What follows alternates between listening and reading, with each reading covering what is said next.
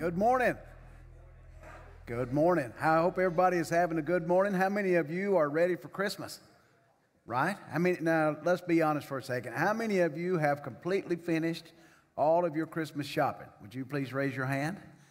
Oh, we've got a few. Okay, well, that's because Vernie doesn't buy anything for anybody. So I knew that part of this story. Now, somebody else raised their hand, though. Who else had their hand up? Was it an honest hand? Let me say, oh, right down here, we have a few. Yes. So, those of you who have not started Christmas shopping, you still have a few days left, but you're running out of time, okay?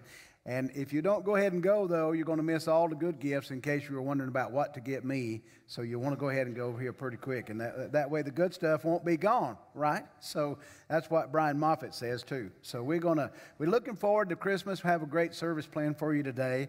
Let's take a few minutes, though, and if you would, let's stand together and have a quick word of prayer.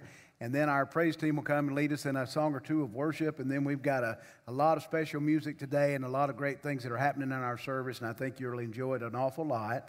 But let's go into the Lord's presence with prayer this morning, and then we'll go further in our service. Ready?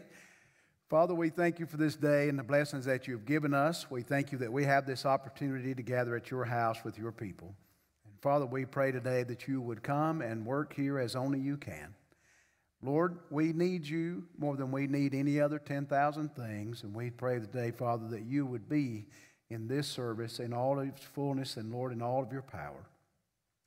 Lord, thank you for the answered prayers that, Father, you've answered for our people.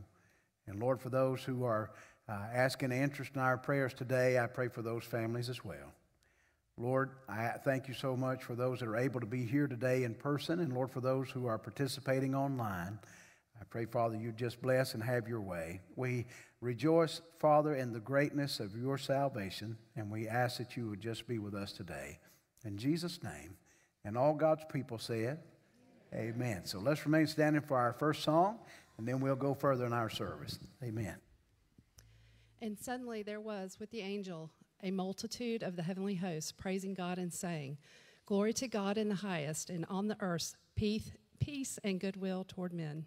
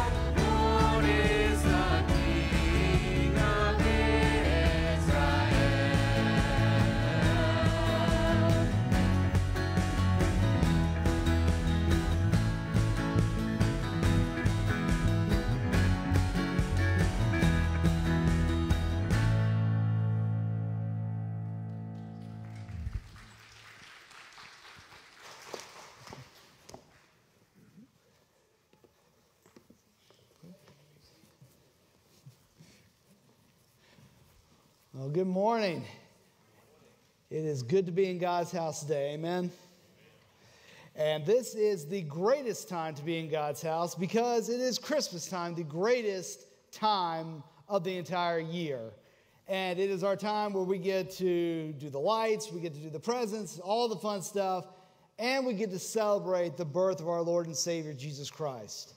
And one of the great things we're going to do in the kids' ministry this month is we're focusing on generosity and how we can be generous to others during this Christmas season, but how God was most generous by giving us the greatest gift of all, his son, Jesus Christ.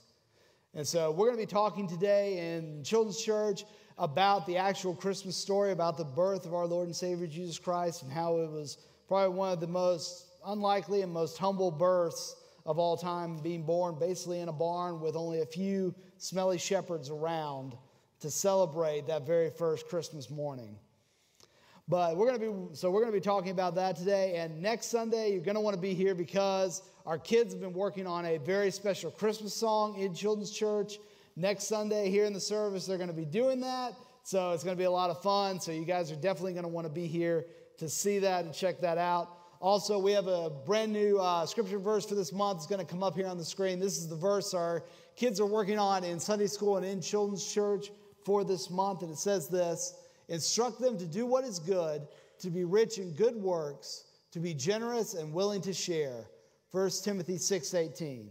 All right, so all my kids here today, we're going to shout this out as loud as we can on 3. So I'm looking at a couple of you because I know you guys can really shout because you did it this morning in Sunday school, and I know you can do it the, right here in the service today. All right, this is your one time to be loud in the big sanctuary, so don't waste it. All right, so on three, we're going to shout this verse together. All the kids, ready?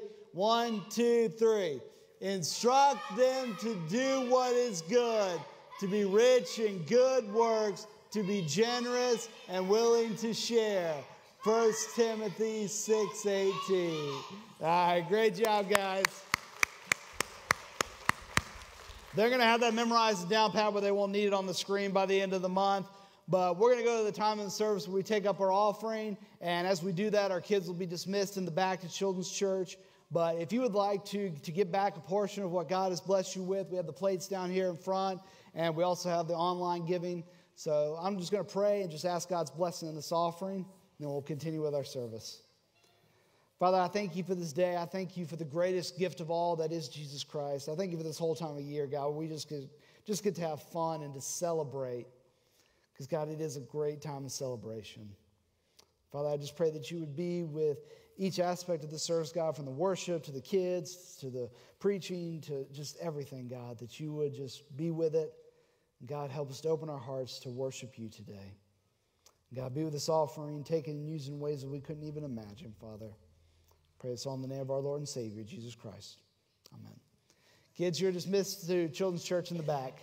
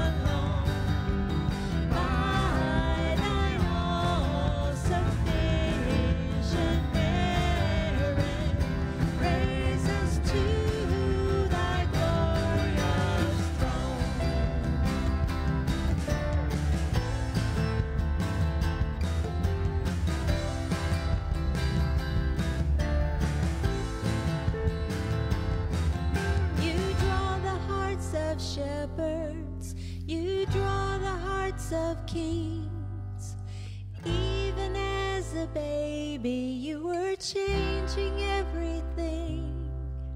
You called me to your kingdom before your lips could speak. Even as a baby, you were reaching out for me. And now we are awaiting the day of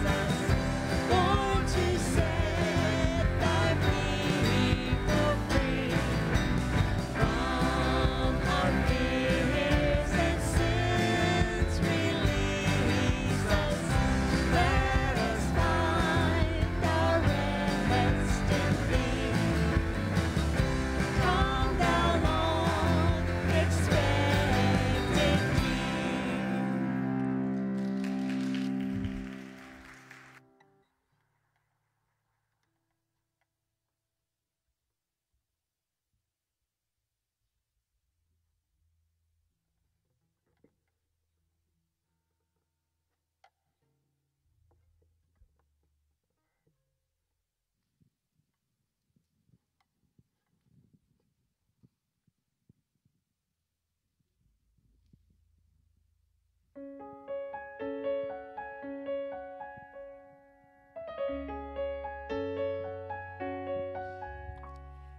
have traveled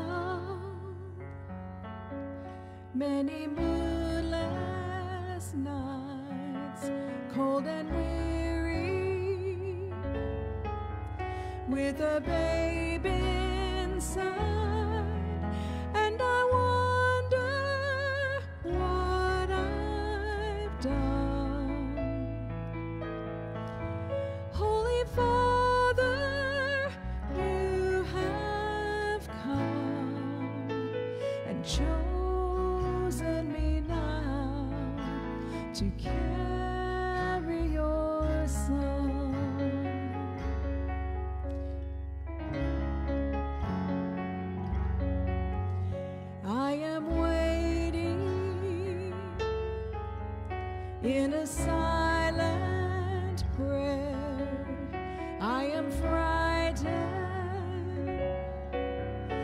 by the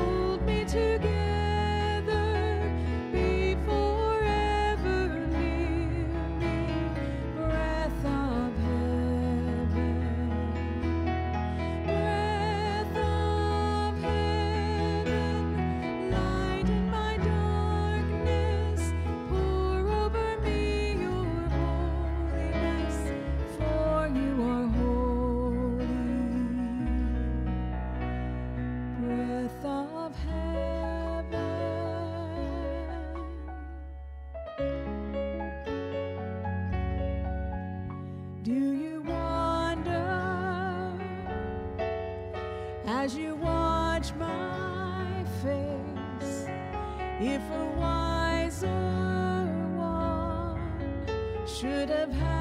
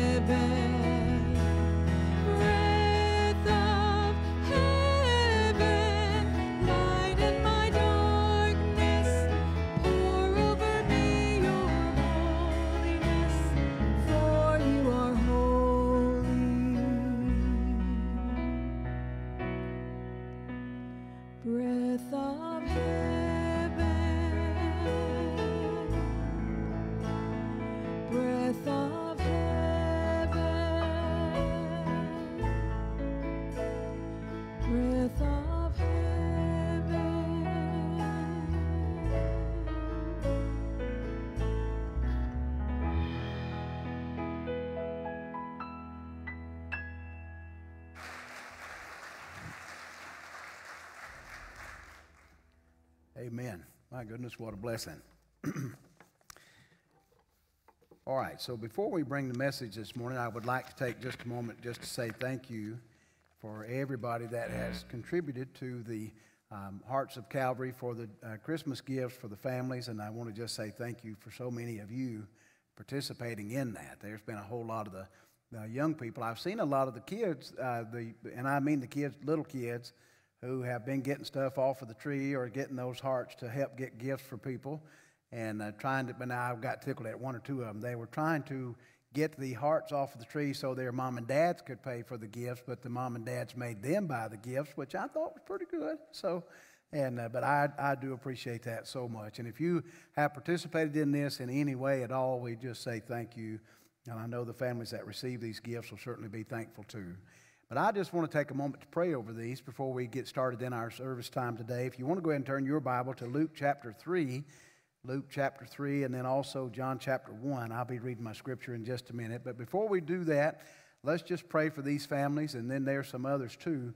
I want to take just a moment too. I don't have a report this morning from Miss Raina uh, about her mom. Has anybody gotten a report this morning on Raina and how she's doing or, and how her mom is doing?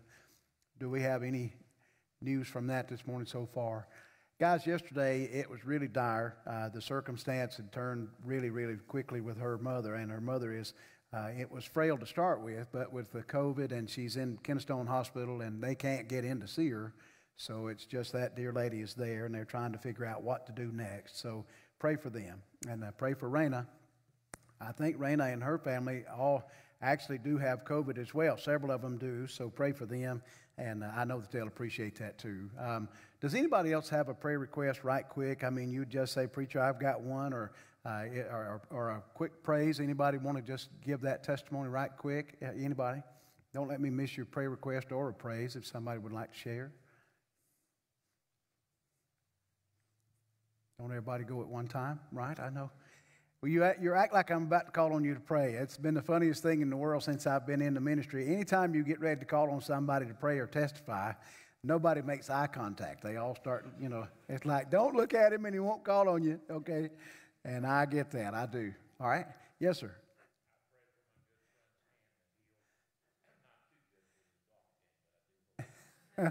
Amen. Good to see you guys here today, buddy. We'll be praying for your hand too. Amen. Amen. I- yeah.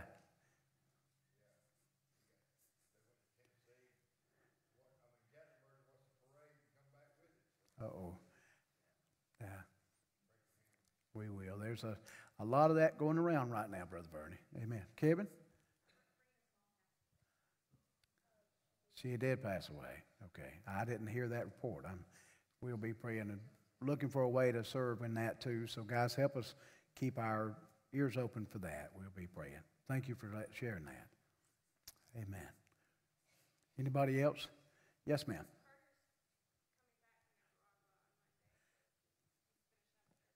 Amen. Safety for journey for him. Amen. I wondered where he was. I didn't think he was out of the country though. Amen. Well, I'm glad I'm glad he's coming back home safe. Amen. We'll be praying. Who else? Anybody else?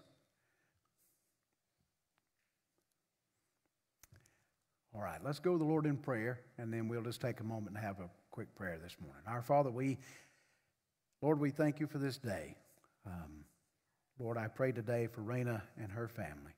Lord, dear, I know the, the heartache, I know the firsthand, I know the struggle that they go through today. And I pray that, Lord, you'd be with them as only you can. Lord, I know that we don't have words to speak that'll bring comfort. Only you can do that. And I pray that you would. I pray today, Father, for the other requests that have been made here today. And Lord, I know that you are able to meet every one of those needs according to your riches and glory. And I pray that you would. Lord, I pray that you get glory out of every circumstance, every situation that we find ourselves in, and that, Father, you would help us that our lives reflect your glory as we live through this world. Have your way. And Lord, for the sweet families that will receive these gifts this year, I pray that, Father, you'd be with each and every one. And Lord, I pray that the gift of love might not be missed. And Lord, for those who have been generous to help with this, I am thankful. And Lord, Thank you so much that we pastor such a generous people. Have your way, and we'll be careful to thank you and praise you for all you do. We ask these things today in Jesus' name. Amen. Luke chapter 3. I wrestled on this message, and I, I say that to you guys a lot. I want to tell you why I wrestle sometimes with, I don't really wrestle with what to preach, I wrestle with how much to preach, if that makes sense. And I, I really need to preach like the first three or four chapters of the book of Luke so you can get all of this message, but I'm going to get it down to Luke chapter 3, verses 1 through 6, and then I will explain where we're going with this in just a minute. Luke chapter 3, verses 1 through 6, the Bible says, Now in the 15th year of the reign of Tiberius Caesar, Pontius Pilate being governor of Judea, and Herod being tetrarch of Galilee, and his brother Philip, uh, tetrarch of Iturea and of the region of Trachonitis, and Lysanias, the tetrarch of Abilene, Annas and Caiaphas being the high priest, the word of God came unto John, the son of Zacharias, in the wilderness. Now, I want to stop here for a minute because this is an important part of what we're going to be preaching on today, and it's what it's really what Christmas is about. It's really what Christmas is about. Some years before this happens, before the 15th year of Tiberius Caesar, the angel of the Lord went down and met Zacharias in the temple as he went into the temple to do what he did. And the Bible said he was the one who burned the daily incense, and so there was a special time of every service for them in the temple practice and how they practiced their, their worship services at that time. And as Zacharias was standing there, all of a sudden, the Bible says the angel Gabriel came and stood by him and saluted him. Okay? Now, guys, this is remarkable because for 400 years, the nation of Israel hadn't heard anything from God. There had been no prophet, there had been no leader, there had been no word from God. It's the intertestamental period.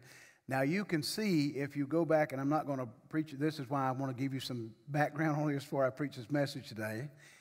The intertestamental period was a time without prophets, but it was not a time without the activity of God present. I mean, God delivered Israel in some astounding ways even during that time, and there were some times in there they would not have survived as a nation had it not been for the mercy and grace of God.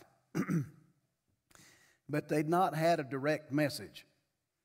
And so Zacharias is in there, and the Bible says that Zacharias and his wife Elizabeth were just people, and they were faithful people. They were people who loved the Lord. They were people who had not lost sight of what they should be doing. And so God chose him to come and speak to. And he comes and tells Zacharias that John is going to be born to him and Elizabeth. And the Bible says they were also well stricken in years. Okay, so this is one of those things when you read it, it's just more and more improbable. Now, I don't know how old they were, but I, I think they were past childbearing. I mean, so, and they were also, they didn't have any other children.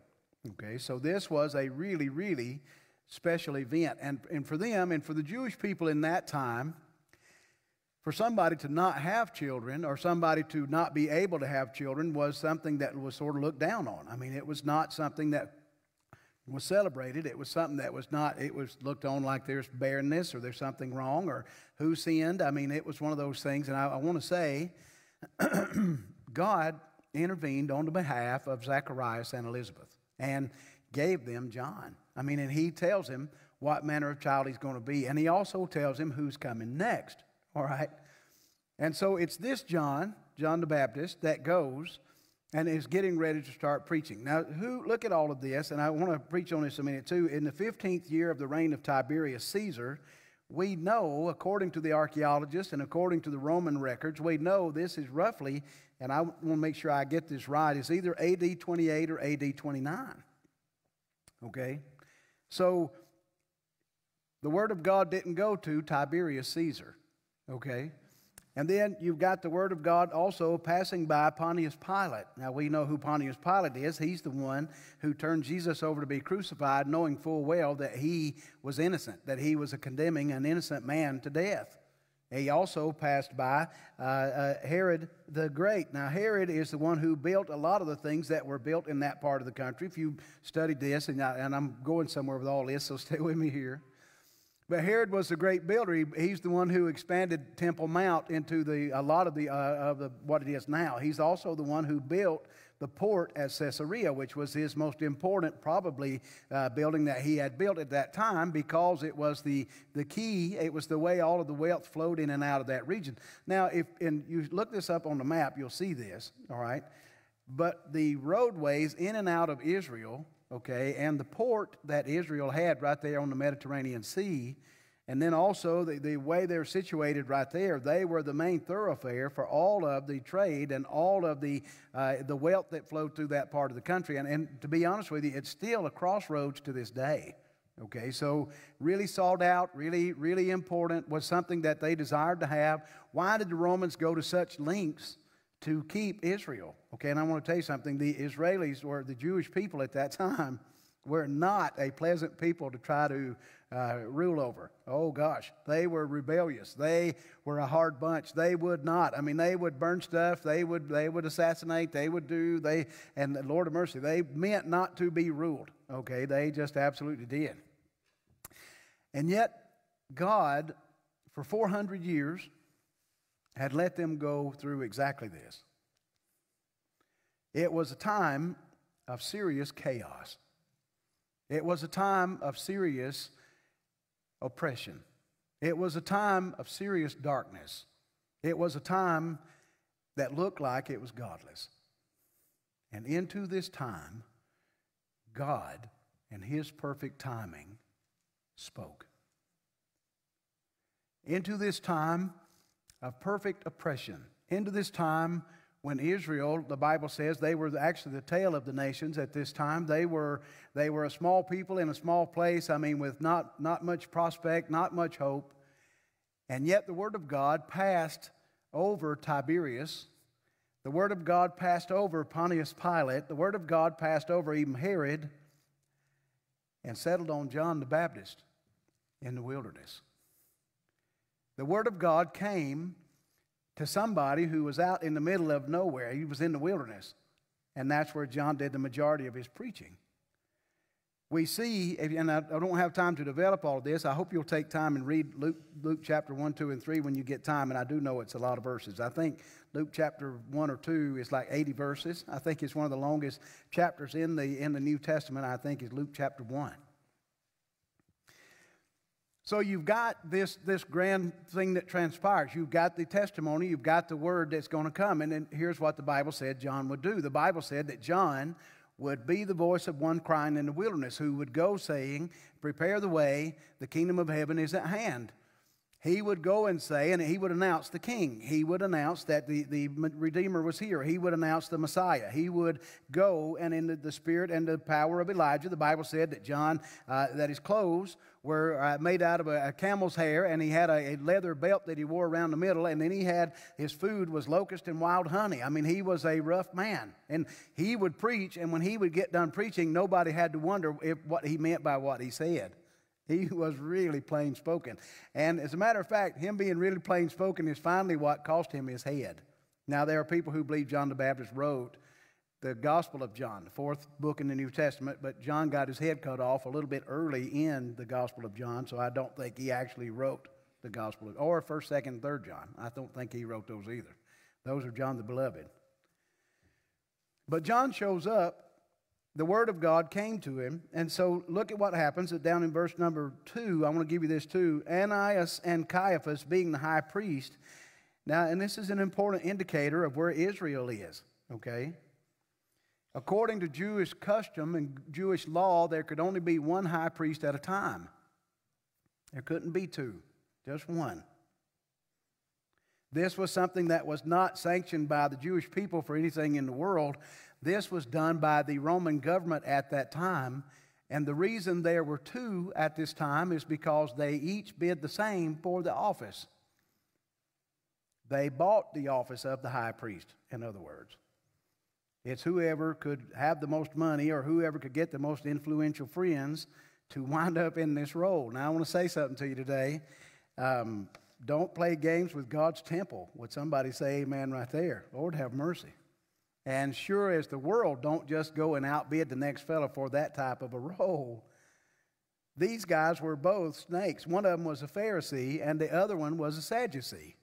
Now, we read the Sadducees wrong. We tend to read them as a lesser caste or a lesser class of people, but the Sadducees were actually people that were wealthy people. They were the merchant class. They were the people who had the funding to, to go into and to get to these offices. The Pharisees, of course, you know, we read about them. Jesus fought with them the whole time he was here. I always get tickled at Jesus' preaching when it comes to the Pharisees and the way that he dealt with them.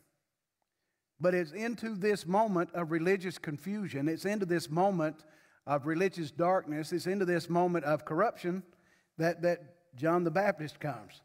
All right, and he he shows up and he's got his clear voice, and we'll talk about it in just a second. But the, the nation had lost its way when it came to the things of God. The nation had lost its way when it came to truth. The nation had lost its way when it came to what their identity actually was. They were a people that were in the place that God had put them, but they had lost it to Him. Okay, they had lost any kind of sign of where is God and where's God supposed to be speaking? Where's the Word of God? Where, where is the walk that we're supposed to have? And they were actually people that left Jerusalem, left to go out into the wilderness to get away from the temple system, and they were the Essenes. And I don't have time to preach on that that's a longer message too.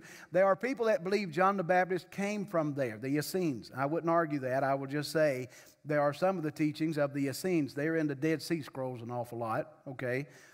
If you study them, there's some of their teachings that are a little bit out there, okay? I, they're not exactly what we would call New Testament doctrine, so don't, don't go join the Essenes. Would somebody say amen? You're all going, preacher, we don't even know who that is, right?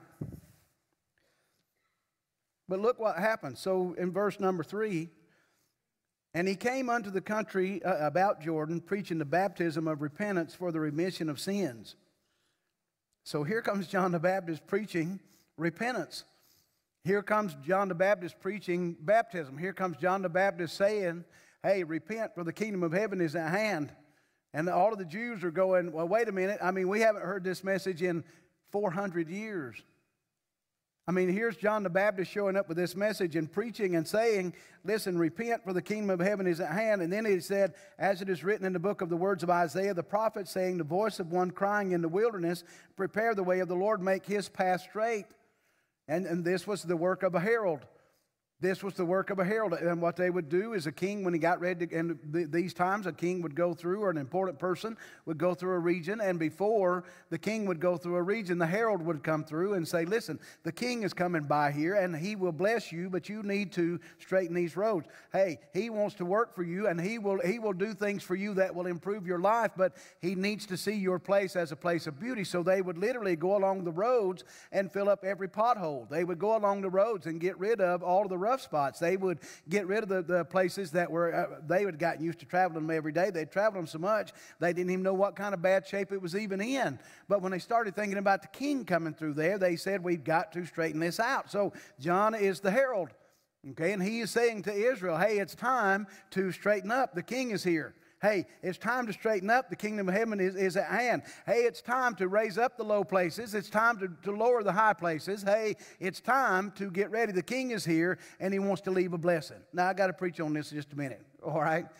Guys, I want to say this to you today. I think sometimes for us in our society, we expect God to bless us without us doing anything about our low places. I think we at times expect God to answer the promises of His Word without us ever one time saying, wait a minute, I need to make the crooked straight. Okay, I think sometimes we think that God owes us something, and I think that sometimes we need a very clear voice and a very clear message that says, hey, if you want a blessing from God, when the king comes by, if you want God to do something for you, maybe you need to raise up your standard a little bit. Maybe you need to get a little bit off your high horse a little bit. Maybe we need to straighten out the kingdom of heaven is at hand. Would somebody say amen right there? Now, we can pretend we don't need this preaching in our day. Who was John preaching to? Right, and this is where the controversy starts, okay? The Jewish people didn't believe they needed the message of John because they thought, because they were born Jewish people, they didn't need that because they were the seed of Abraham, so they didn't need repentance. They were the seed of Abraham, they didn't need baptism. They were the natural seed of Abraham, so they didn't need anybody telling them what they should or shouldn't do or what they should or shouldn't look like. And they were, they were really proud of being the seed of Abraham. And a matter of fact, some of them argued with John about that and said, We are Abraham's seed. And I think Jesus even argued with them and said, Hold on a second, God is able of these trees to raise up, raise up seed to Abraham. So it's not about physical birth, guys. It's not about high born or low born or any other kind of born. It's about being born again. Would somebody say amen?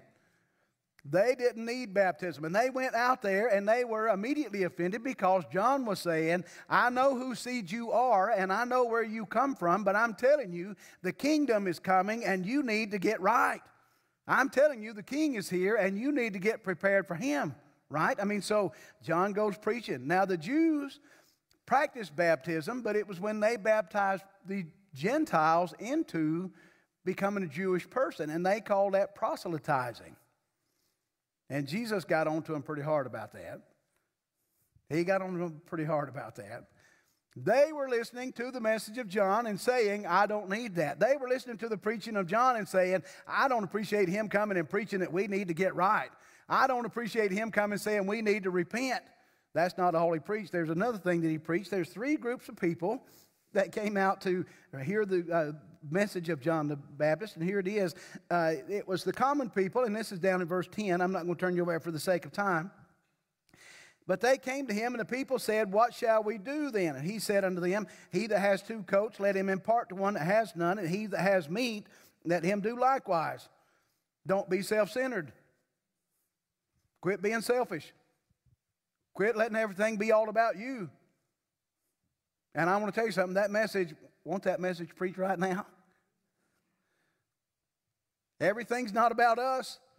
Everything doesn't revolve around us. Everything doesn't revolve around what we are or are not doing. Guys, I got to be honest with you. It's a happy day in the life of a child of God or in a person that realizes that we are here for His glory first. Okay? And John is saying, listen, be generous. Give to somebody in need. If you have two coats, give one away. Hey, and, and, also, if you have two meals, give one away. He's teaching them generosity. And then there's another group, it's the publicans. The publicans came to hear him and they said, What should we do? And he said, Exact no more than that which is appointed of you. Does anybody remember what the publicans were? Not Republicans, okay, publicans. The publicans were probably the most hated people in all of Israel because they were the Roman tax collectors, okay? And here's what they did there was a percentage and there was an amount that each tax collector had to gather. That was what the Romans told them you have to raise X amount of money, okay? And so, and here's what they told them anything over that that you can get, you can just keep it. Wow, there's no way in the world for that system to get corrupt, right? No way for that to go sideways. Does anybody remember there's a now there's a publican actually on the ministry team of Jesus or the disciples? Does anybody remember that man's name? Matthew was a tax collector. There's also one that I like the most in the Bible, the tax collector that is named, and his name was Zacchaeus for obvious comparison reasons. Right? I mean, Zacchaeus, and I, y'all are all singing that song now, right, Zacchaeus? so, Zacchaeus, these guys were hated, and here they come out to hear the message of John because they know better. They, they've got the light of conscience. They know I'm not supposed to be doing this. They know we should not be taking advantage of our people. We know, and, and by the way, he's not saying don't collect taxes. He said don't collect more than you're supposed to. And can I add something to this too? Don't pay more than you should either. I don't think I have to preach this. Please pay some taxes, but don't pay more than you should. I, avoiding tax is a bad idea at some point in time because, trust me, they will find you. I have not done that, so don't anybody. I wonder. Uh, no, no, no. I'm good. Amen. We go the extra mile to not get crossed up with them turkeys. Because, listen, the IRS was hated in Jesus' day. It's not any worse in our day. Amen. It's not any less. But he said to them, listen, here's what to do. He said, now, and, and you got to hear this because this is an important part, and I think it preaches and I think it speaks to a modern day audience exactly. The next group was the soldiers, or the ones who helped maintain order in Jerusalem or there in Israel. And they were the soldiers, and they came, What should we do? Now, here's what happened the soldiers worked hand in hand with the publicans, okay, to help them exact their taxes and to help them collect the fees. And they would work hand in hand. And here's what would happen they would go, the soldiers would go and accuse somebody of a crime, and the only way they could get out of it was to pay a big fine or to give more money to one of the collectors or some other kind of something. It was a corrupt system top to bottom. It was a corrupt system top to bottom. And John shows up preaching at exactly that moment that they need to. The Bible says here that he told them, don't do violence to any man, neither accuse any falsely. And then he gives them something else. And be content with your wages. right? I mean, do you see this? I mean, here's John. Now, his message is countercultural, okay? Because Israel, they, they have gotten into this spot. Now, the, the, we know the Jewish leaders we're all in on this corruption. They, and they are named, and it's demonstrated over and over and over again through the scriptures. We know that they were corrupt. We know that the high priest were corrupt because they tried to buy that office. Okay? And the Jewish people were saying, Who do we believe? And here shows up John saying, Listen, if you have two goats, give one away. Hey, if you're a Republican, don't, don't take up any more than what you're supposed to take up. And oh, by the way, if you're a policeman, don't falsely accuse people and don't participate with the publicans, is what they were saying. I mean, it's a countercultural message for their day. And can I tell you something today? The message of Jesus Christ is to this day countercultural. Everybody loves the picture of Jesus in a manger. Everybody loves the picture of Jesus, the sweet Jesus there, and them coming and bringing the, the, the wise men coming. Everybody falls in love with that. Where we have trouble is when we find out that the message of Jesus requires faith on our part and obedience as well. Not just something to hear, it's something to do. It's not just something to believe, but guys, it's a behavior. You know why? James said it the best. James said, Show me your faith without your works, and I'll show you my faith because of my works, or by my works. I mean, and I've got it backwards here. But the one says, I believe, and the other says, I believe, but let me show you how I believe by how I behave. Can I preach to you just a second here? We live in a time of great spiritual darkness. And I don't have to point that out to you, you know it. We absolutely live in a time of great corruption. And I don't just mean American corruption, I mean global corruption. We live in a time when the elites have their way, do what they please, and it looks like nobody ever holds them to account.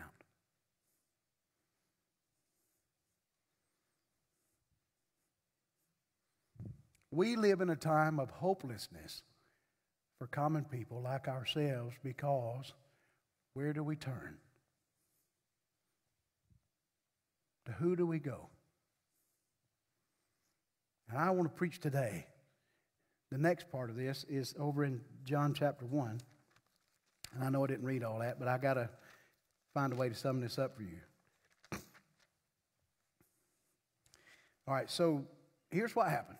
Here goes John out into the wilderness preaching and baptizing there at Bethabara at, at Jordan. All right, and we went to the place where John the Baptist baptized Jesus. We, uh, we went there a time or two. And it is, guys, it's not, it's not as wide as from here to here. I mean, it's, it's a small spot right there where, the, where Jesus baptized John. Okay? And it, it was, it's a beautiful spot, but it is right there, right on the, the border now with Jordan. I mean, with the country of Jordan. There's literally an armed uh, set of Israelis on one side of the river. And remember, guys, on, the other side of the river, there's the other guys just 100 yards away are armed as well. Now, they all know each other and they wave and speak, but they, that, that's, there's a border there. And wasn't that where we went to, where it said, you know, the minefields are here, danger of death? You know, we all took a picture of the danger of death sign, right? We did not go and see about the minefield. We all stayed really way away from any of those borders. But here they are. Everybody, John is out here preaching. And he's preaching something different. He's, pre- he's not up there saying, go up and keep the temple service anymore. He's not going up there saying, listen, we need to go up there and fix the temple. He wasn't doing any of those things. John is preaching the baptism of repentance. John is saying, let's, let's live better. John is saying, let's treat our, our fellow people like we ought to treat them. John is saying, listen, let's, let's be a people that is prepared because the kingdom is coming. Okay? And so the Pharisees sent out messengers and said, Listen, you got to go see who that is because we're trying to figure out who he is. And so here they are. The Bible says that all Jerusalem went out to hear the preaching of John. Now, and this is an important part of this. So, John the Baptist has got a decision to make. John the Baptist can make his ministry about himself. John the Baptist can make his ministry about what he's doing. John the Baptist can make it be where everything revolves around him. He's the only one on the scene right now. He could absolutely, but what did he do? He, he tells them in John chapter 1 listen, they said, Are you the Christ? And he said, No, no, I am not the Christ. But listen, he's close behind me. Hey, are you that prophet? He said, No. And that's the prophet that Moses promised, okay? Jesus is actually that prophet that Moses said one is going to come like unto me, remember? Hey, are you him? Are you Elijah? And he said, No. He said, I'm the voice. He said, I am the voice of one crying in the wilderness. I'm just here saying the kingdom is coming. I'm just saying the king is here. All right. And in John chapter 1, look at verse 29. The Bible says, The next day, John sees Jesus coming unto him and says, Behold, the Lamb of God, which takes away the sin of the world. Man. All of a sudden, John's got a line of people that are out there trying to get baptized. And they're waiting their turn. They're going to him, and he's baptizing them in the Jordan. And he looks up, and here comes the Lord Jesus himself walking down that riverbank to come to where John is to be baptized. Somebody said, Why would Jesus need to be baptized? So he could be identified with us. Baptism is absolutely about identification. It says, I am a believer. It says, I belong. It says, I fit here. Okay? And that's why we say once you get saved, you ought to get baptized. So there's John baptizing. He's doing ministry, he's working, he's preaching, he's doing all of these things, and he looks up, and here comes one he's been prophesying about. Guys, he gives a clear testimony of who Jesus is and exactly what Jesus has come to do without apology. His witness is as plain as he can get it. Now, I've got to say this to you today. The first thing Jesus came to do was not to fix the things that were wrong on Temple Mount. He will do that later, okay? In a big way. He will do that, trust me, later. He didn't fix it on this trip. He did not come to throw out the high priest of that day. He didn't even deal with it. Could he have done it? Why, yes, Lord of mercy, he could have done it. He's God. Listen, uh, Can I tell you something today? If you are here today and you're thinking that God is against you, can I help you with something? If God was actually against you, do you really think you'd get the next breath? If God was opposed to you, do you really think you would be able to function in any way possible? Listen, not only He's not against you, the Bible says, Here, behold, the Lamb of God that takes away the sins of the world. Hmm. Hallelujah. Aren't you glad that's our message? Now we have a choice. We have a choice. You can build your kingdom and make it all about yourself. You can put your own you can build your own little world and make everything revolve around you. You can absolutely be the Lord of your life. You can absolutely be the salvation of your life. You can absolutely do your best to redeem yourself. You can absolutely just uh, everything about yourself you want to do. Or you can say, like John, wait a minute, it's not all about me, it's all about Him. Behold, the Lamb of God who takes away the sin of the world. Now, I've got a question for you. Maybe you're like those people who are saying, What should we do? Learn to not be so self centered. One. What should we do? Don't look into your current circ- circumstances or what's going on and ever lose hope. Because the same God who brought forth his son at exactly that moment, okay, will speak into your circumstance if you'll wait for him. He'll work for you.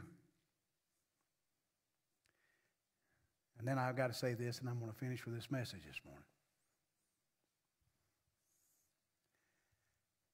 Maybe you are looking for him to come and fix a situation in your life, but you're not looking at him as the Lamb of God who takes away the sins of the world. Maybe you're hoping he'll come and overthrow something. Maybe you're hoping he'll come and just fix something big. Can I tell you something? There's not a grander office that Jesus fulfills in our lives or in the lives of our loved ones than the Lamb of God that takes away the sins of the world. Would you bow your heads, please? I'm through preaching. Our Father, today, I thank you for this day and the blessings that you have given us. Lord, I pray that you would take this message and apply it to our hearts. Lord, especially in this season, help us to be mindful of others. Help us to be generous. Lord, help us to be people prepared for a king. And then, Lord, help us to not be our own king, but to recognize you for who you are. I pray today, Father, for those who have a prayer need today. Father, you would show them that you have come and that you will work in their circumstance, not beyond them. There's nobody looking around just for a minute or two. and here's our invitation Behold the Lamb of God that takes away the sin of the world. Do you need a Savior today? Behold the Lamb of God that works in our situations. Do you need Him to come? Would you like to come and have just a quick prayer? We'd love for you to come if you'd like to have a prayer time this morning while they just play a verse or two of a song. Come right now.